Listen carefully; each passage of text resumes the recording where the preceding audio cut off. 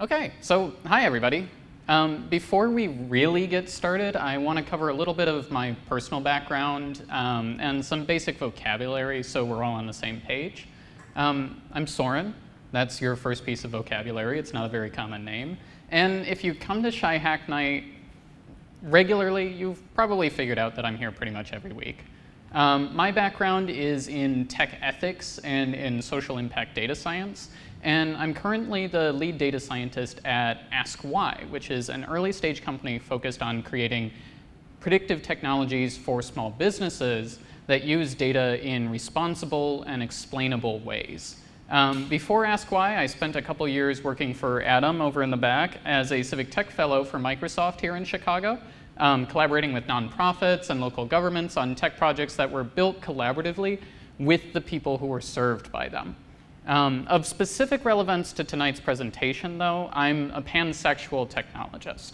Um, I won't go too much into fine distinctions between identities here, but pansexuality is considered by many to be a subset or extension of what we traditionally think of as bisexuality. Basically, I'm attracted to people equally regardless of their gender. Um, in the next 20 minutes or so, I'll use a bunch of terms that are really familiar to folks in LGBT plus advocacy circles, and I want to define them here for anyone who might need a little bit of catching up. Um, first, as you've likely already seen in the title of this presentation and on the Chi Hack Night website, I'll use the word queer very broadly to describe a wide range of sexualities and genders that fall outside of what has historically been considered typical in our society. This word, of course, has a charged history as a slur against LGBT plus people, but in more recent years has been reclaimed by us to describe ourselves. The word is also used to describe certain specific gender identities, but here I use it pretty much interchangeably with the acronym LGBT plus. Um, though those terms both cover both gender and sexuality, I want to note that, that there is a distinction between the two concepts, and discuss my own place in the LGBT plus community. Um, while my sexuality, i.e. who I'm attracted to, falls under the queer umbrella, my gender identity does not. I am cisgender, which means that my self-conception of my gender matches the gender that I was assigned at birth. There are a wide range of gender identities out there, and it's important for me to acknowledge that I don't have the experiences of a non-cisgender person, since I'll be focusing quite a bit on gender-related data in this presentation. I want to be clear that my views are my own and should not be taken as an official messenger of like queer opinion on this topic. Um, just like in any other community, there are many conflicting views present in the LGBT plus world about data collection and data safety. So with that out of the way, let's establish a little bit of a premise. Long-standing marginalization has led to misinterpretation and misunderstanding of LGBT plus people. In a long-standing environment of fear, the vast majority of queer people have stayed silent about their identities in one way or another. I came out originally in high school, but was recloseted when job changes forced my family to move to Alabama. The caution with which I approached my own sexuality during that time persists to this day, and I don't actively discuss that part of me very often. We may have marriage equality in this country, and we can acknowledge that as a big positive step, but there are still many ways that it remains alienating and even dangerous to not be the magic combination of cisgender and heterosexual. Uh, this is amplified among already marginalized groups like LGBT plus communities of color or neurodivergent queer communities. The end result of all of this hiding, all of this fear, is that researchers' best understanding of queer identities and the social patterns of queer groups is highly flawed. The loudest voices tend to characterize a group. And a lack of granular data leads those characterizations to be taken as a given for that group as a whole, especially when research is applied in business contexts. And in addition to that, the very terminology that we use to describe our identity is highly fluid, adapting as we become more open as a society to exploring natural differences in sexual attraction and gender. Because the words we use to describe many identities are so new, differing self-descriptions around the world also complicate research. The fact that we know very little about LGBT communities poses challenges much broader than queer-related research fields. On a basic human level, queer voices are often quiet in the workplace where products and services are built, including digital systems. A recent survey whose methodology I unfortunately don't have on hand here found that only 30% of LGBT plus technologists are out in their workplace. And many don't feel comfortable speaking up on topics related to their identities. Most systems are not designed with LGBT plus users in mind. And it might seem weird to consider designing the uh, designing explicitly with tangential identities in mind, but we already do that with identities that we consider to be normal. This is especially true of some civic systems. When we do explicitly consider LGBT plus experiences, we often do so through a stereotypical lens or assume the needs of communities with unique needs that are often invisible to us. Let's talk about one way that data systems have evolved to include LGBT plus identities and the not so obvious drawbacks of that evolution.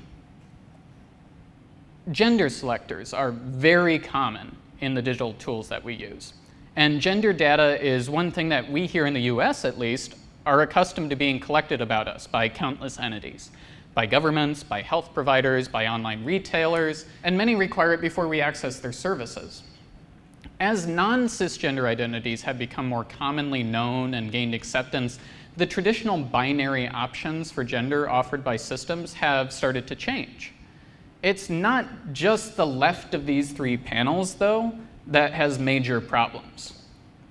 Let's talk about the one in the middle, which is very common at the moment. In addition to allowing users to choose either of the two traditional options for gender, they can also designate themselves as other. While this technically captures all other possible identities, it lumps a huge diversity of genders under a single alienating term. This has big ramifications for data use after entry, since any content or functions that might be customized based on gender are essentially rendered meaningless by a data collection approach that puts every non-cis identity in a single bucket. It shows only a minimum level of care and understanding of additional gender identities, and does nothing to forward our understanding of just how common certain identities are among a system's users or how those identities behave. The opposite approach is one taken by a growing number of companies and organizations like Facebook, seen in the rightmost panel here. In an attempt to be exhaustive, Facebook currently offers dozens of gender options for users to identify themselves. This attempt is flawed for a number of reasons, chief among them being that what's considered exhaustive at any given time rapidly falls out of date. Since we're finding new ways to describe gender and sexuality every day, when we begin to discuss these things more openly, there's really no such thing as an exhaustive approach to identity. Something that better reflects the needs of our diverse LGBT plus communities is this, which allows free-form text entry of somebody's gender identity. Now, of course, if this information is displayed publicly, there is potential for abuse by people who like to make discriminatory jokes about gender identity. And any such system would need to put steps in place to prevent such abuse. Additionally, any data scientists in the audience could tell you that working with free text can make data analysis much more challenging than working with a limited set of options. But this is all for a good reason, because it produces a granularity of data that's simply impossible if we try to put everyone in boxes that they may not uh, fit in. This is what an inclusive data practice looks like. But I'm not here to talk about inclusive data practices. I actually believe that inclusion in this sense is often a misleading goal in the design of technical systems and causes more harm than good. Then that's where we start to talk about protection rather than inclusion. Inclusion-based frameworks fail to understand that forced participation in a flawed data system can be harmful. It isn't enough to include or represent varying identities when the resulting functions are premised on bad assumptions about those identities or in systems where data is improperly secured, et cetera, et cetera. Let's consider this through a variety of lenses. Inclusively collected data is almost always still subject to the same stereotype-based decision processes and content curation processes as non-inclusively collected data. Whether a human is in the mix of making content decisions or not, the data we feed into a system and the ways we act on that data frequently comes to align itself with existing social hierarchies.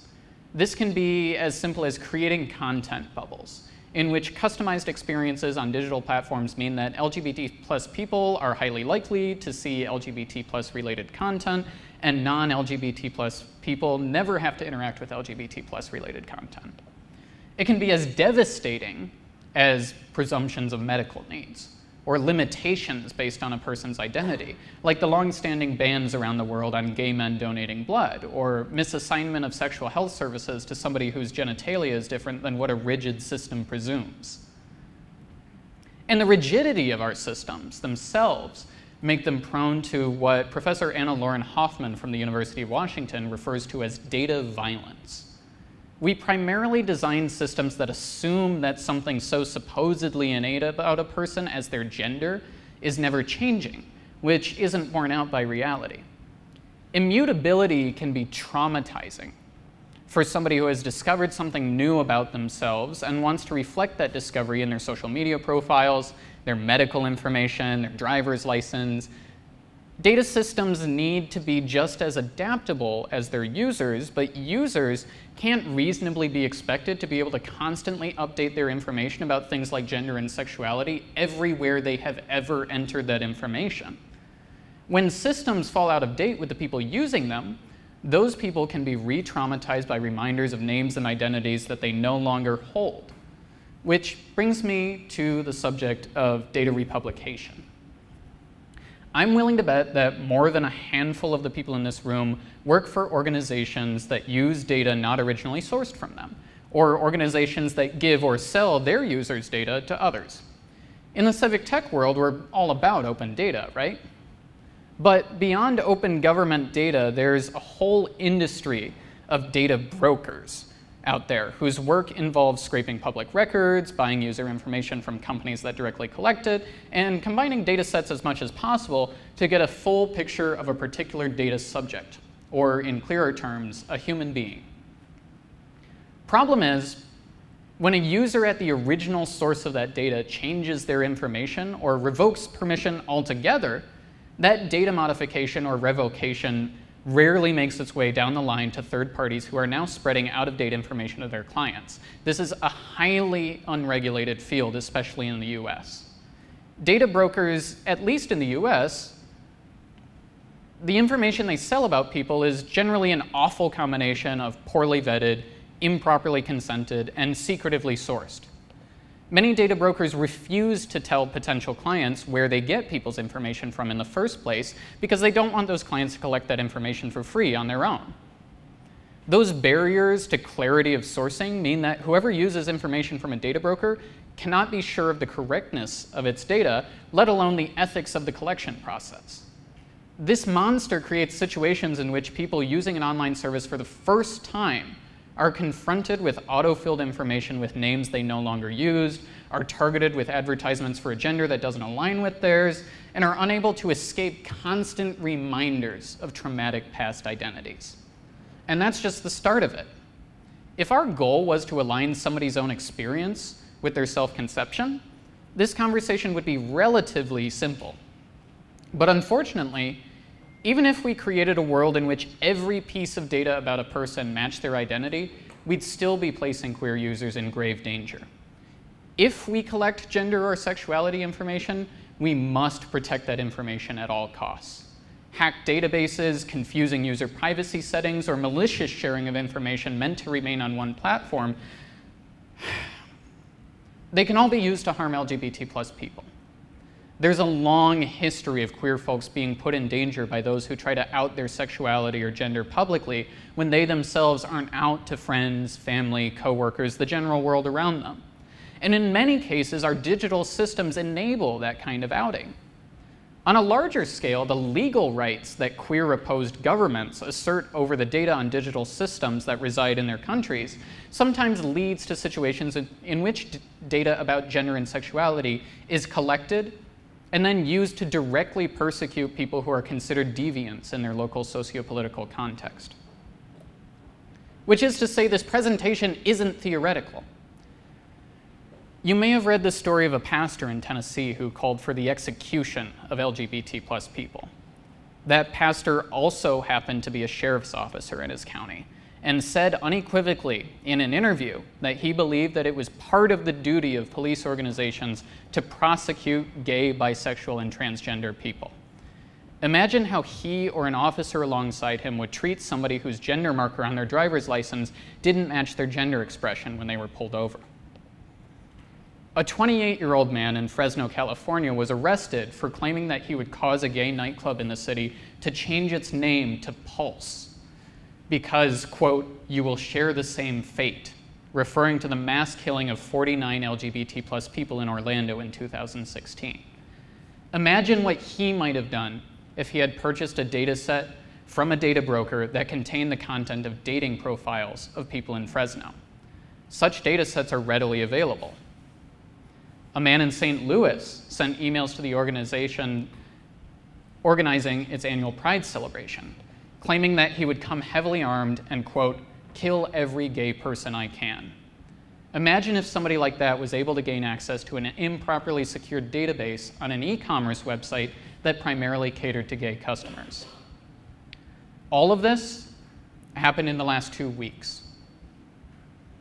We may feel that we have come a long way, especially living in a large international city in which people can largely be open about their identities, but let's not kid ourselves. It is still physically dangerous to not be heterosexual or cisgender in this city, in this country, and around the world. Our industry bears responsibility for encoding and republishing information that can be used to target marginalized communities. And subfields like marketing analytics continue to normalize dangerous practices. We have to have a moral reckoning with what we consider acceptable in computing fields in cases where gender and sexuality data isn't essential. Which brings me back to this. We can do better than this. How about we stop collecting? Instead of putting the burden on a user to fully understand the risks of sharing their highly personal information, let's put the burden on ourselves to treat that information right if we have no strong reason to collect it or can't guarantee its safety, we shouldn't collect it. End of story. Is the danger to your LGBT plus users worth the ability to roughly guess whether somebody is buying a purse for themselves or as a gift, or to assume you know what kind of movie they want to watch? We have a responsibility to build safe technology. And to do so, we not only need to confront the limitations of the inclusiveness framework, but we need to intimately involve LGBT plus technologists and users in our work at every step of the process. Like any other marginalized community, queer people need to be front and center in conversations about how technology can help or harm us. Otherwise, we're destined to continue building systems that will alienate us, hurt us, or even get us killed, when we could be crafting a digital world that works for everybody. It's Pride Month this month. And I take pride in the fact that I am able to give a talk like this, discussing topics that may have been taboo just a couple short decades ago. I take pride in the fact that many of you here tonight care deeply about these issues and want to make a positive difference through your own work. But pride without concrete action is meaningless. So I call on you. Take pride in the act of creating systems that keep my community safe take pride in sleeping at night with the knowledge that you've done everything you can to include and to protect. And carry that pride forward so others can learn to do the same. Thank you. How realistic is it to expect companies not to collect data that they believe, wrongly or rightly, will help them in selling you things? Or selling your name and identity to other people to sell you things? I think that that question starts with conversations like this one. Um, I work in a field right now that is rife with practices that are focused on collecting as much data as possible at whatever level of granularity is possible. Um, there are companies out there, I, have gone through their opt out processes. There are companies out there that hold an immense amount of information about me. Um, everywhere I've lived, everybody I've ever lived with, um, a whole bunch of information that I thought wasn't public at one point or another on different platforms that I use. And I think that of course, there is an economic benefit to having that kind of data. Um, of course, the Netflixes of the world are always going to want to know everything about you so that they can tell you exactly what you want to watch at a given time. Spotify wants to know your mood so that they can alter it. There's some really interesting coverage about that. Spotify actively tries to alter your mood to make you more susceptible to advertising. Um, these platforms thrive on knowing everything about you. And it's, it's sort of a natural extension of the fact that we've structured our digital systems in a way where everything about you can be given away in the first place. So partially, I think it starts with a moral reckoning, starting with having people say very clearly, especially if they are in a position of decision making or are in a position of power in their organizations, that we shouldn't do this. Um, and then on the other side of things, a lot of the infrastructure that enables this needs to change as well. The way that we think about data privacy in general needs to change as well. And I, am not an expert on different privacy frameworks. Um, obviously, there are a number of different privacy frameworks that are, are really interesting right now. GDPR is being litigated really heavily in Europe right now, and I'm paying attention to that because GDPR enshrines a bunch of rights like the right to data deletion or the right to a non-automated decision process. Um, those are all really interesting steps forward. But once you translate ethics over to law, then it gets really muddy and gets stuck in the courts. So uh, there's no easy answer. Um, but I think it does start with saying something's wrong. So a few years back, um, there was a dating app for queer people that was uh, hacked, I believe, and a lot of information was lost. Can you speak to the uh, Tinder generation and like the usage of that data information, how that could be harmful to LGBTQ people? Dating apps are a super interesting example because dating apps have actually enabled a lot of things for queer communities, enabled connections that were hard to make in person, especially in communities that aren't typically open. Also, they're an interesting example because dating apps are highly reliant on information about who somebody's attracted to. Um, when it comes to data apps, the key thing is data security. Um, if that information is being collected, which sort of naturally it is on a platform like that, there's that responsibility to keep that information secure. And there are a number of cases where, like, for instance, if I was to be in the dating world right now, I wouldn't trust Grindr because Grindr is owned by um, somebody who has made a number of homophobic statements uh, and has connections to the government of China. Um, and that's a whole other conversation. When we talk about like China in these authoritarian uh, data collection terms, we're actually talking about a lot of the same types of surveillance that companies do here in the US, and it's a different cultural framing. So that, that sort of like scared talk that we hear about China surveillance all the time, there's, there's some framing differences there. That's a whole other talk.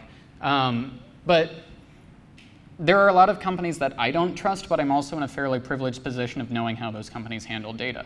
And even being in a fairly privileged position of like theoretically knowing how these companies handle data, that doesn't mean that every company that creates a dating app is public in any way about how their data is treated or how their data is stored.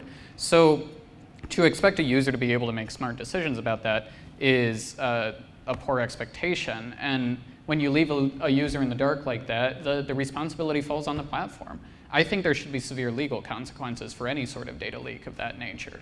Um, and I, I don't know of other remedies out there besides making there be consequences. I'm curious if you're aware of, like, I'm thinking about the other different sort of dynamics with like queer politics, and um, I guess I can't think of any uh, recent examples where that is intersected with data and technology as directly, but there's like a there's a pretty strong tradition of political protest as well, and so do you see like a path for that? It seems like kind of a, a niche but like, is there room for political action, uh, boycotting platforms or anything like that? We're in the middle of Pride Month right now, and there's a whole lot of efforts underway to get YouTube kicked out of Pride parades. I'll tell you that. Because YouTube earlier this month made a really horrible moderation decision to keep a homophobe on the platform who was actively harassing a gay content creator. Um, and YouTube has had sort of internal revolts against this. Uh, Google as a whole has had some internal revolts against this. But um, part of the challenge we run into with that is that the way that Pride happens today um, is the largest events around Pride tend to be very corporatized and very sponsor based. And it, it's very hard for the organizer, organizers of events like that to um, kick out a large corporate sponsor. Um, which really tilts the power dynamic away from like keeping communities safe and towards preserving sort of this, uh, this sheen of we're a welcoming company. Just because a company culture is good doesn't mean that they're making good decisions that are safe for LGBT plus communities. Just because they have all their rainbow gear and they have a really active ERG doesn't mean that they're not harming queer lives. So to answer your question, absolutely there is potential for that. And absolutely there has been some action around that. There is an active boycott of YouTube right now. It's, it's limited in scope. The communities around it are fairly small. The, the creators who were involved, um, neither of them had like massive, massive audiences. So um, it hasn't gained as much traction as I would have personally hoped it would. But things like that are totally possible. Tech is not a silo. Tech is just part of our lives. And when a part of our lives is impacting us negatively, then it's time to take to the streets. Um, it seems like the, uh, the paths to protection are either increasing accountability on one end or also just kind of being a better consumer of knowing when you can and cannot opt out. Um, but you only know what you know, right? So, mm-hmm. so to that end, are, do, are you aware of any kind of front ends that, you know, if a form pops up on your browser, you get a sense of how safe is this form? That's super hard, um, especially because a lot of the systems that we talk about, like the example I gave of an e-commerce website, a lot of small retailers, which we are, we love to support our small retailers, our local retailers, that kind of stuff. A lot of small retailers have really limited access to like great tech, and they'll build out something and plug something right in the website that's completely insecure. And when that retailer is selling stuff that primarily appeals to an LGBT plus community, then that puts those communities in danger, which is, you could consider that a fault of the retailer, but the retailer themselves probably doesn't have the tech skills in the first place or the technology in the first place to know that they're putting their users in danger. Um, I don't have specific examples of like widely used systems that are or are not highly secure because a lot of those systems are, um, are highly configurable. So in certain configurations, they would be highly secure. You can make pretty much any data collection system HIPAA compliant if you work hard enough. But a lot of them aren't very secure out of the box. I mean, you've probably seen warnings about never submitting passwords through uh, Google Forms. Um, I don't know how that information is transmitted. I think generally that warning might just be a, if somebody's having you submit a password through a Google form, their security practices probably aren't very good. But there might be something about how Google Forms are transmitted that's not, um, not very secure. I don't know that though. So somebody should look that up. um, but I don't really know. So my question, um, kind of in regards to having um, trans, non-cis people in the room in developing technologies and systems. Um, I guess uh, since um, trans and non-binary people um, encounter significant kind of systemic barriers um, to gaining education, um, having the resources to, you know, do internships, all of that kind of thing. So I guess my question is, um, do you know of any kind of endeavors or initiatives within the tech world in general to kind of encourage trans and non-binary people um, to get into those fields, and, and, what does that look like? Yeah, there, there are a number of initiatives on that. Um, every marginalized community has specific challenges that are, are unique to that marginalized community, but there are also a lot of similarities between different marginalized communities in general outcomes, lack of access and lack of acceptance once there is access. Um, especially in certain tech subfields, there are a ton of efforts underway. Like surprisingly, given what you would think traditionally about like the culture of gaming communities, um, game development is actually a subfield of computer science where there's a huge trans and non binary presence and a lot of organizations that do work around recruitment, inclusion, training companies to do things the right way. Um, and also, game development is a field that has a little less to do with data collection than some other fields too. So there's some side benefits of the actual work um, in some cases is less dangerous. Um, beyond that, I, this obviously I'm cis and this isn't my area of expertise and I, I don't want to stand up here and say that I am all, all knowing about trans and non-binary folks. So I'm sure there's a ton of specific organizations that aren't on the top of my head who are doing fantastic work and I would love to look those up and, and send you them when I find them.